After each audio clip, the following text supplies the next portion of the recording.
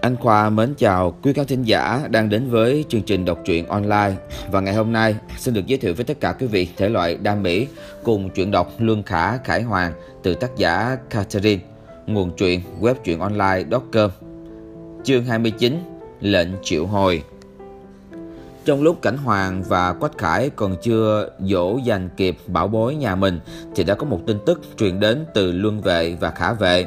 Ông chủ gọi hai cậu về nhà Cố Nhật Luân Bây giờ Bạch Khả Bây giờ Cần về Ngay lập tức Lệnh triệu tập tối thượng Bạch Khả và Cố Nhật Luân đành phải ôm vết thương trên người mà về nhà, bỏ lại hai nam nhân đang lo lắng không biết liệu hai nhạc phụ có bắt Tân Nương về hay không. Và quả thật là đã bị bắt về.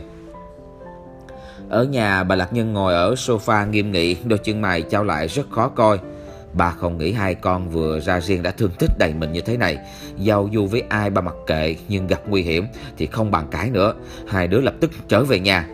Cô Hải lần này cũng không binh vực, trông còn có vẻ giận dữ hơn nữa. Ở với hai ba đã bao giờ bị một vết chày nào chưa? Dù là có mấy lần té ngã nhưng không tính. Bây giờ đi ra ngoài, kết giao bạn bè lại để dính vào chuyện phiền toái, mang họa vào thân. Hai đứa ngày mai đến Hải Nhân làm, không thương lượng. Bạch Khả và Cố Nhạc Lương chỉ biết cúi đầu tuân lệnh, hai phụ thân đã tức giận đến độ này mà còn dám cãi thì kho đúng là không phải con ngoan rồi. Cho nên buổi tối hôm đó mỗi người trở về phòng gọi video call cho người yêu mình. Ba không cho đi nữa, anh gửi đồ đạc về nhà cho tôi đi. Cố Nhạc Lương biểu môi, Quách Khải lo lắng, ba nhìn thấy vết thương hả? Hay anh đến nhà giải thích với hai ba của em có được không? Không không không, vì anh tôi mới bị thương, Anh tới đây nhất định sẽ bị băm ra làm thịt nhét vào hamburger đó. Coi như bây giờ tôi đồng ý quen với anh Anh đừng lo lắng nữa. Chúng ta vẫn có thể quen nhau Mà không ở cùng nhau mà. Quách Khải hết cách, Nhưng chúng ta đang rất tốt. Tại sao? Ở với anh không tốt, Cố nhạc Luân phủ nhận. Ở với anh, chúng ta không hề có danh phận gì. Bây giờ tách ra rồi, Nhưng chúng ta là đang quen nhau nha. Quách nhị thiếu gia thật muốn bay đến sôi vào não nhóc con này xem đang chứa thứ gì, làm sao có thể ngây ngô như vậy. Tóm lại, bây giờ tôi không thể đến ở cùng với anh được. Chưa đợi đối phương có cơ hội nói, cố Nhạc Luân đã tiếp lời, tôi phải ở nhà với ba ba và daddy. Tôi biết mình sẽ rất nhớ anh nhưng hai ba rất quan trọng đối với tôi.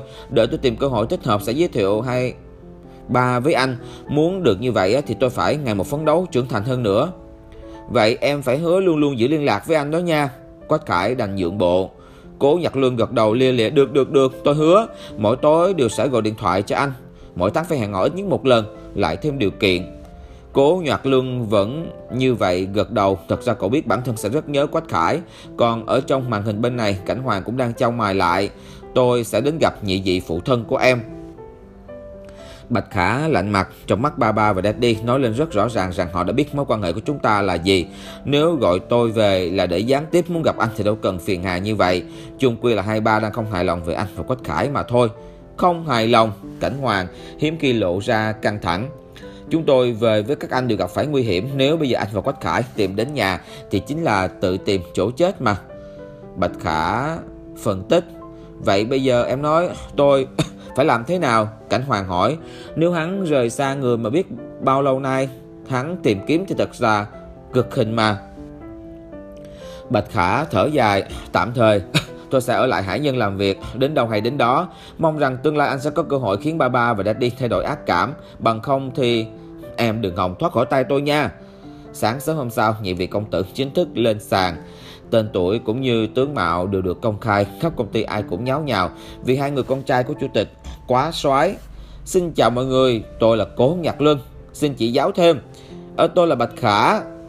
Sau màn giới thiệu, Bạch Lạc Nhân và Cố Hải dẫn hai con lên phòng làm việc, đảm nhiệm chức vụ phụ tá, chủ tịch Kim học Việt, để sau này còn lên làm chủ tịch nữa chứ. Sao hai ba không cho chúng con bắt đầu từ dưới? Cố Nhạc Luân vừa đi vừa hỏi. Không được, Cố Hải lập tức liếc sang người bên cạnh. Ngày trước bà đã cho ai đó thử làm từ dưới lên trên nhưng hoàn toàn chỉ nhận lại bi đát, bây giờ không áp dụng cách đó nữa. Bà Lạc Nhân chột dạ, không nói gì chỉ tiếp tục đi. Cố Hải tiếp tục muốn bay như đại bàng thì không đợi và được chơi với bầy gà. Các con muốn làm chủ tịch thì phải học hỏi từ những vị chủ tịch khác. Tiểu yêu quái, bà Lạc Nhân đứng trước cửa phòng mình phân phó. Con theo ba, còn Nhạc Nhi theo Đại Hải đi. Bốn người ai vào việc nấy, Cố Nhật Luân đi theo Cố Hải kiểm tra văn kiện, được Cố Hải dạy cách xử lý các hợp đồng khó nhằn suốt quá trình rất tập trung, còn Bạch Khả được Bạch Lạc Nhân hướng dẫn lập kế hoạch thu chi cho tập đoàn, kiểm soát lại bộ phận kế toán, cậu hoàn toàn chăm chỉ ghi nhớ.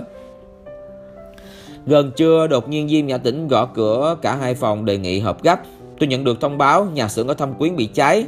Cái gì? Cố Hải bất ngờ. Nguyên nhân tại sao? Hiện tại đã dập tắt đám cháy kịp thời, chỉ bị hư hao một vài máy móc, cảnh sát đang vào cuộc điều tra. Diêm Nhã Tĩnh nói, Cố Hải nhìn bà Lạc Nhân, tôi đi thăm quyến, cậu thì ở lại đây. Bà Lạc Nhân gật đầu, cậu dẫn theo hai con, cho hai đứa nó học hỏi. Trái sữa mọc hỏi cái gì? Cố Hải, thấy nơi đó nguy hiểm, tại sao phải để cho hai quý tử nhà mình theo? Bạch Lạc Nhân nếu ở nhà đã đánh tên đần độn này một cái rồi là đang có Diêm Nhã tỉnh nên chuyển thành gõ bàn. Tập cho chúng nó giải quyết vấn đề, giấu trong lòng riết thì làm sao mà lớn. Cố Hải vẫn cãi, giải quyết thì có rất nhiều thứ khác cần giải quyết, cậu tập cho các con quản lý sổ sách đi. Nghe đến quản lý sổ sách, Cố Nhật Lương lên tiếng đầu tiên, con cũng muốn đi để biết thêm về nhà xưởng thâm quyến, con chưa có dịp tới đó lần nào, ba dẫn con đi theo. Cố Hải nhất thiết không biết nói gì, đành nhìn sang Bạch Khả, mong là tìm được người đồng minh. Con cũng muốn đi nữa. Cố chủ tịch chính thức hết hy vọng, Em mang theo quần lót chứ hả? Quách Khải nhìn qua màn hình trong đêm cố nhật lương soạn đồ đạc. Bằng chải đánh răng nè, ông em không quen dùng đồ chỗ lạ. Khăn tắm nữa, đừng có quên đó. Cố Nhạc lương loay hoay với cái vali rồi rồi. Bây giờ chỉ cần bỏ vào là xong à. Tôi đi công việc chứ không phải đi chơi đâu mà phiền phức quá vậy. Lần trước chúng ta cũng đi công việc sao thái độ lại khác hẳn bây giờ. Quách Khải thầm ý hỏi lại Cô Nhật Lương cứng họng Không lẽ nói lần trước là đi với anh Lần này là đi với ba sao Chỉ là đi với anh Thì hơi khẩn trương một chút xíu mà thôi Bên phòng đối diện Bạch Khả trong lúc soạn đồ cũng nhận được điện thoại. Tôi nhớ em, Cảnh Hoàng bên kia màn hình đang hút một điếu thuốc. Bạch Khả trông thấy thì không thèm chú ý, chỉ tiếp xúc và tiếp tục soạn đồ. Anh cũng bớt hút thuốc lại đi. Tôi nhớ em, Cảnh Hoàng vẫn một câu này. Bạch Khả không trả lời hắn đưa mặt vào hướng tủ quần áo âm thầm, mỉm cười. Sáng sớm hôm sau, ba cha con lên chuyến bay sớm nhất đến nhà xưởng. Cảnh sát vẫn đang phong tỏa điều tra, mọi thiệt hại được liệt kê chi tiết trình lên Cố Hải. Chỉ có hai dàn máy bị hỏng à, còn lại không thành vấn đề. Quản lý báo cáo, Cố Hải xem xét chung quanh. Cảnh sát hôm nay đã đến chưa? Chúng tôi vừa gọi cho họ cho gọi đã đến rồi thưa chủ tịch. Quản lý dẫn đường, giả giả bên này Cố Nhật Luân và Bạch Khả, Bạch Khả đi theo phía sau. Vào phòng bên trong gặp cảnh sát, hai cán bộ cao lớn. Phong thái thì nghiêm chỉnh nhưng cách cư xử thì cực kỳ kém.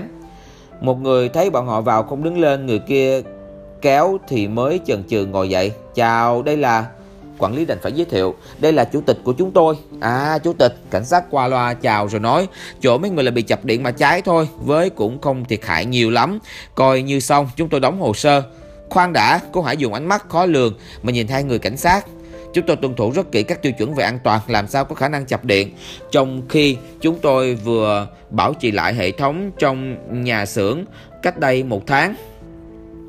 Một tên cảnh sát nhún vai, mắt chỉ dám nhìn xuống giày của bốn người đối diện.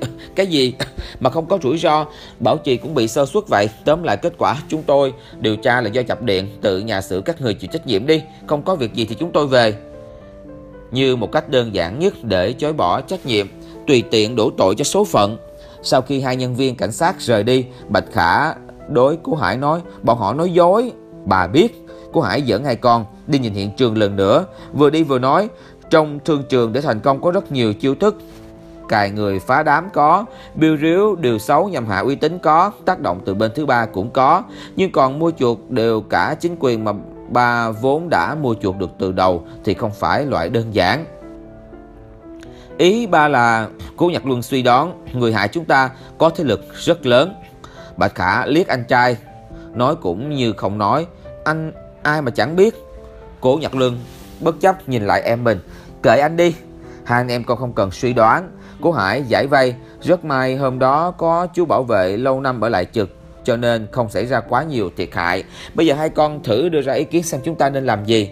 Thì mua dàn máy mới, đưa xưởng trở lại hoạt động. Cố Nhật Luân trình bày lưu loát, cực kỳ xứng danh là sinh viên quản trị kinh doanh. Cố Hải gật đầu, mắt vẫn quan sát xung quanh. Còn gì nữa không? Bạch Khả sau hồi lâu mới lên tiếng, âm thầm điều tra thủ phạm, nếu không thì tương lai sẽ còn rắc rối dài dài đó. Cố chủ tịch biểu tình rất vừa lòng, xoay lại nhìn hai con, nếu tương lai là hai đứa đồng tâm hợp sức thì chắc chắn sẽ có thể quan đại hải nhân. Cố nhặt lưng khó tránh khỏi trong lòng phê phới vì được ba ba khen ngợi nên trong một lúc quên mất trước mắt đang là chuyện rắc rối cần giải quyết, đứng ở một góc tủm tỉm cười. Anh ngốc cái gì? Bạch Khả nhắc nhở, sau đó hướng cổ Hải hỏi, Hải Nhân có đối thủ nào gần đây không ba? Hải Nhân không mấy khi làm phật lòng người khác. Cố Hải trả lời, hơn nữa phạm trù của tập đoàn chúng ta rất ít công ty cạnh tranh. Trước kia thì có Phi Phi, sau đó thì Phi Thị bị con triệt phá thì tính tới tính lui bà cũng không biết chúng ta đắc tội với tổ chức nào nữa. Bạch Khả lúc này mới vỡ ra một vấn đề. Nếu đối tượng không phải là vì hải nhân Thì mà đánh thì rất có thể là vì hai anh em, nhà họ mà đánh. Cậu lập tức nhìn sang cố Nhạc lương. Em đừng nói với anh, em cho rằng chính là Cố Nhạc lương trao mài Đúng vậy Bạch Khả gật đầu. Cố Hải ở một bên không hiểu. Hai đứa làm sao vậy? Bà, chuyện này có thể liên quan đến chúng con. Bạch Khả giải thích, Người có mâu thuẫn với chúng con là người nhà họ Cảnh Cảnh gia đệ nhất gia tộc. Cảnh gia hả?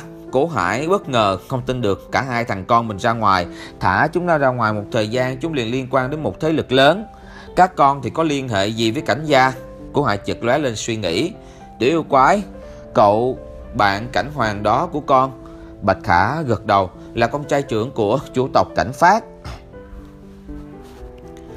Cố Hải đưa tay ngăn lại dòng suy nghĩ. Khoan đã, nếu cảnh hoàng là bạn con thì tại sao cảnh gia lại gây nên chuyện này? Người chúng con đắc tội là một người khác trong cảnh gia. Tóm lại mọi chuyện rất phức tạp Mà để con liên lạc với bạn thử bên điều tra xem sao. Nếu chính xác là người của cảnh gia Chúng ta sẽ có kế hoạch đối phó cụ thể sau. Bạch Khả ra sức thuyết phục ba mình. Cố Hải định thần. Được rồi, con nhanh chóng về khách sạn liên hệ với bạn con đi. Ba và Nhạc Nhi sẽ ở đây khắc phục hậu quả. Mỗi người một việc Bạch Khả trở về khách sạn gọi điện thoại cho Cảnh Hoàng. Bây giờ mới biết gọi cho tôi hả? Giọng nam nhân bên kia đầu dây cơ hồ có chứa lửa. Bạch Khả đi thẳng vào vấn đề. Chuyện nhà xưởng bị cháy, cảnh sát thì điều tra qua loa, tin chắc rằng đã bị mua chuột, nhưng ba tôi đã mua chuột chính quyền ở đây từ khi mới thành lập nhà xưởng rồi. Nếu thế lực kia không đủ mạnh, không lý nào, ngay cả sự mua chuột của họ cũng phản bội, đứng về phía phe kia. Biểu tình cảnh hoàng trùng xuống, nếu đối phương có khả năng đến hải nhân tức là không phải cảnh hiên nhi, tôi sẽ điều tra vụ này, khi có kết quả liền báo em. Buổi tối hôm đó cả ba cha con đều ở trong khách sạn Mỗi người ở một phòng riêng. Cố Nhật Luân nằm dài trên giường duỗi hết tay chân ra. Cả ngày ở nhà xưởng thật là mệt. Điện thoại một bên reo lên là vị đó. Alo, cố Nhật Luân nằm sắp người lại kê mặt vào camera sát. Hôm nay tôi mệt lắm, đau chân đau lưng Rồi vai cũng đau nữa. Tại sao lại cực khổ như vậy? Quá khả xót xa nhìn vào màn hình chỉ thấy mỗi cái chán của ai kia. Bình thường mỗi buổi tối anh đều xoa người cho em, Bây giờ chắc chắn không quen rồi. Ai nói tôi không quen? Cái thói mặt mũi vẫn không chừa Là tại vì hôm nay phải đi khảo sát những chỗ cháy, Rồi xác định mã dán, máy để đặt hàng lại, Giải quyết mấy đơn hàng đang cần rất gấp, Sắp xếp hết lịch tăng ca cho công nhân. Rất nhiều việc chứ bộ. Rồi rồi, em tài giỏi, Quách Khải, vỗ dành. Cảnh sát nói nguyên nhân vụ cháy này thế nào rồi? Nhắc mới nhớ, cố nhặt lưng ngẩng đầu lên, nhìn vào màn hình cực kỳ nhiều chuyện mà kể lại. Tiểu quái nói hai tên cảnh sát đã bị mua chuột, đưa ra lý do giả. Em ấy nghi ngờ rằng do chính cảnh Hiên Nhi làm, bây giờ chỉ có cảnh gia mới có đủ mạnh để có thể điều khiển cái đám cảnh sát đó mà thôi. Hiền Nhi, Quách Khải trao mày, làm sao có thể? Hiên Nhi đã bị cảnh phát từ chối quan hệ rồi mà. Hơn nữa, từ trước đến nay Hiên Nhi chỉ mang tiếng là con gái chủ tộc. Quyền hành thì bằng không. Nếu có thể mua chuộc được chính quyền Hiên Nhi không đủ năng lực đâu. Cố Nhật Luân cảm thấy trong lòng có chút tư vị kỳ lạ. Cậu nhìn qua màn hình. Nhìn người nam nhân đó, rốt cuộc lại bí xị Tôi biết anh và cô ấy thân nhau rồi mà. Quách Khải nén cười, không được không vui. Anh và Hiên Nhi dù có thân hay không thân, người ngoài nhìn vào vẫn biết Hiên Nhi không thể điều khiển chính quyền, phải là người khác. Vậy thì ai vào đây chứ hả? Cố Nhật Luân nâng người cao hơn, biểu đạt ý chống đối. Lúc này đột nhiên có ai đó gõ cửa phòng hai cái rồi trực tiếp đẩy vào. Cố Nhật Luân đang úp sắp dí vào điện thoại bất ngờ, xoay đầu qua nhìn. Đã có kết quả điều tra, Bích Hồng chính thức vào cuộc. Chúng ta vừa nghe qua hết chương 29 của truyện đọc Luân Khả Cải Hoàng từ tác giả Catherine và đến đây cho phép anh Khoa xin được nói lời tạm biệt cũng như hẹn gặp lại tất cả quý khán thính giả ở các chương tiếp theo trong những lần đọc sau.